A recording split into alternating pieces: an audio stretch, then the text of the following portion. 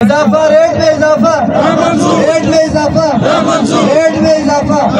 دونوں چیزیں نامنظور ہے اگر گندم کے اندر کمی بیشی کی گئی، تو اس کو بھی ہم نہیں مانیں گے۔ اور گندم کے ریٹ میں اضافہ کیا گیا، اس کو بھی ہم ماننے کے لیے تیار نہیں ہے انشاءاللہ، یہ جاگی ہوئی عوام کو مزید جگاتے ہوئے ہم گلگت میں روک کریں گے۔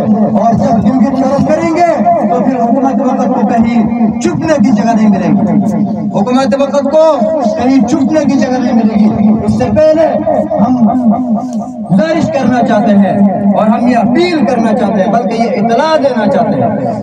یہ اطلاع دینا چاہتے ہیں آپ کو۔ آپ کے اطلاع کے لیے ہم عرض کریں گے حکومت وقت کے کہ اگر آپ نے اس اس عوام کے حقوق کو غصب کرنے کی کوشش کی، گندم میں، کٹوتی میں اور گندم میں کٹوتی کی گئی یا گندم کے ریٹ میں اضافہ کیا گیا۔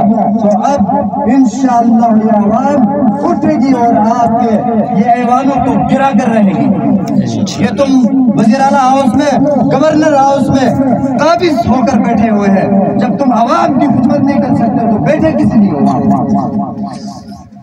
یہ عوامی وہاں جاتے ہیں اور گلی گلی کوچے کوچے گھر گھر اور فرق فرق پہنچتے ہیں اور کہتے ہیں کہ ہم عوام کی خدمت کے لیے آئے ہیں اور جب عوام کی خدمت کا اصل بات ہوتی ہے تو سارے کے سارے چھپ کر جاتے ہیں آپ جاتے ہیں۔ ایسا ہے یا نہیں ہے؟ اس لیے حکومت وقت اور ہمارے جتنے بھی نمائندے ہیں اور یہ سارے کے سارے ہوش کے ناخن لیں ان عوام کو اٹھنے سے پہلے، آپ کے اوپر چڑھائی سے پہلے آپ اپنا جو آپ کے غلط فیصلے ہیں، ان کو واپس لے لیا جائے۔